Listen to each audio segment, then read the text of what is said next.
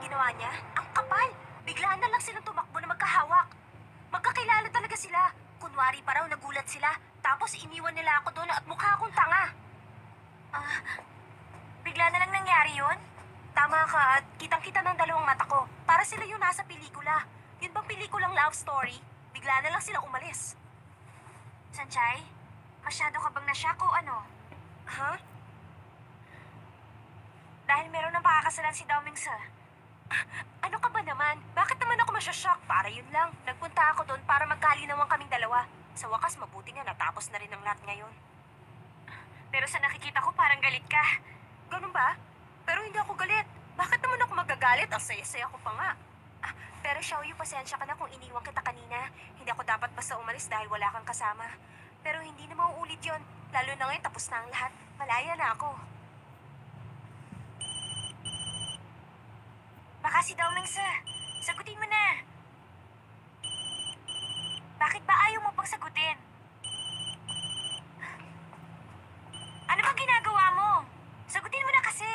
Bakit ko naman sasagutin yan? Wala naman ako sasabihin sa kanya. Ah, sa bagay, kailangan ko nga pala siyang i-congratulate. Bukas ko na lang siya pabatiin sa eskwela. Dahil napakaganda ng mapapangasawa niya.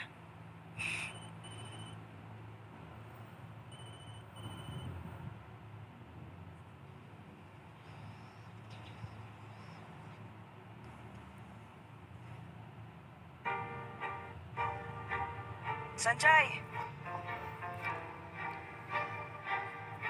Sir Tomlinson, congratulations sa engagement. Engagement? Kanino? Pinaglaruan niyo lang ako lahat kahapon. Salamat! Anong sinasabi mo? Nakita mo ba nangyari kahapon? Akala mo ba may alam ako doon? Ano pinag-uusapan nyo? Si Mama lang ang nagdesisyon sa mga nangyari. Oo, talaga? Bakit kayo tumakbo palabas at magka-holding hands pa? Makinig ka nga muna. Napagkamalan ko siyang ikaw. Hey, ano ba talaga nangyayari? Sabihin mo nga, at paano ka magkakamali? Magkaibang damit namin at ang aming buhok. Bakit bulag ka ba? Alam mo ba, napaka-unreasonable mo talaga. Tinatawagan kita pero ikaw nga itong ayos sumagot. Pakinggan mo nga ang sarili mo, nagpapalusot ka pa. Katulad ka rin pala nila Mizo at si Men. Kilala ko na silang dalawa. Akala mo hindi ko alam na gagawin mo lang ako laruan bago ka ikasal? Nagkakamali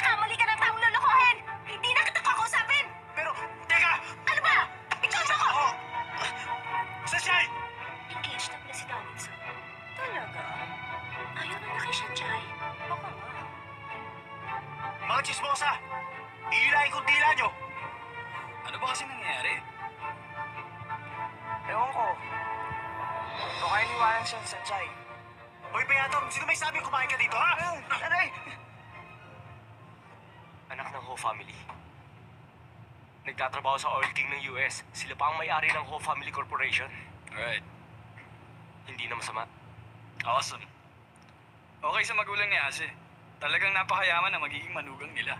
Sa business ng daming corporation, petroleum na nakawala. Sigurado si Mama nagplano nun. Magaling si Auntie sa mga bagay na yan. Sa araw ng kasal nyo, siguradong tatalbugan nyo pa ang first family. Tumahimik ka nga. At bakit ko siya pakakasalan? Bakit mo nasabi yan? Teka, cute ba siya o hindi? Cute! Cute mo mukha mo. Para siya nagwawalang unggoy. Nagwawalang unggoy? Ganun na itsura niya? Ganun siya umarte. Pati nga yung tenga ko. Tenga? Anong nangyari? O bakit namumula ka? Wala kayong pakiram sa tenga ko. Tumabi nga kayo dyan. Ano kaya nangyari? Hindi ko alam. Pero mukhang interesting yun. Buti nga sa'yo, napahiya ka. Huli na, nagsisinungaling pa. Nalito pa raw. At paano ka naman malilito? Hindi ko naman siya kamukha. Hindi magkamukha ang saging at ang bayabas. Manluloko, sinungaling.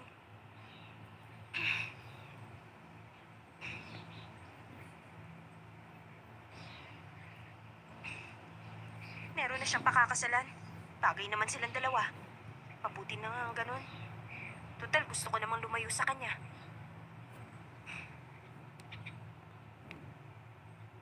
Napaka-moderno niya. Kamukha niya yung kahapon.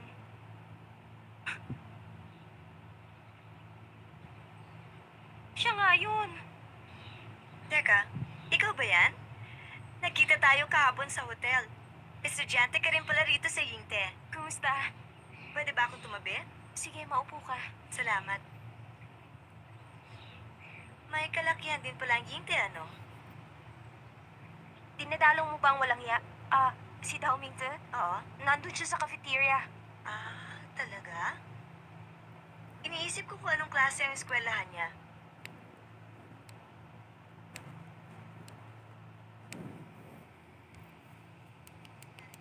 Wala akong kapera-pera sa bulsa ko nakayapak. Iniwan niya ako at wala siyang pakialam. Sinong normal ang gagawa nun? Umalis siya na hindi ka kasama? Tama. At dahil sa kanya, puro gasgas ang pa ako. Mag-isa akong naglakad pa uwi. Kapag nakita ko siya, sisigawan ko ang lalaking yon. Pero, di ba nagtitake na kayong dalawa? Kahapon ko lang siya nakilala. Kakikilala nyo lang? Di ba tumakas kayong dalawa kagabi? Ah, yun ba? Hindi ko rin maintindihan. Baka naman, nagkagusto siya sa akin agad. Malay natin. Hoy! Monkey girl! Anong ginagawa mo rito? Monkey girl? Tinawag mo akong monkey girl? Kasalanan mo ang lahat ng sakit-sakit tuloy ng katawan ko. Pakialam ko. Magkalinawan nga tayong dalawa. Hindi totoo ang engagement. Hindi ko matatanggap. Ang galing mo naman magsalita, inosente ka pala. Ano? Ang tenga, kinagat ko ang tenga mo at biglang namula ang inosente yung bata. Kinagat ang tenga mo? Kung ganon, yun pala ang nangyari. Ayaw mo pa sabihin, ha? Anong sinasabi mo? Mula ngayon, bilang mapapangasawa mo, tuturuan kitang mabuti. Gusto kita. Ano? Kahit anong mangyari, pakakasal tayong dalawa. Kung magkakaroon na tayo ng relasyon, mas okay. Pakakasal? Isang relasyon? Teka, teka, Hoy, sir. Huwag na huwag mong gagawin yan. Ano ka ba, babae pa rin yan? Hindi ako nilalakit ng babae. Sinungaling, hindi ako naniniwala. Ginawa mo na dati yun. Babaeng unggoy. May pangalan ako. Ang Hyanse.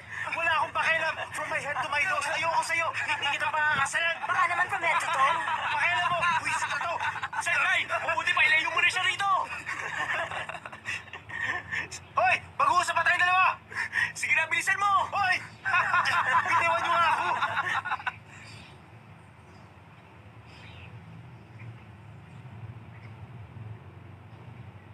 Siya nga pala ako si Shautze. Ako naman si Sanchay. Gusto mo ba mag-shopping? Shopping? Oo. Wag na. Pagod na ako. Isa pa, hindi tayo magkakilala. Ano namang masama? Magkakakilala rin tayo mamaya at kailangan ko ang payo mo. Ano naman naman yung bibigay kong payo? Basta, isang mahalagang payo. Halika na.正在下着雨，今天是星期几？But I don't know，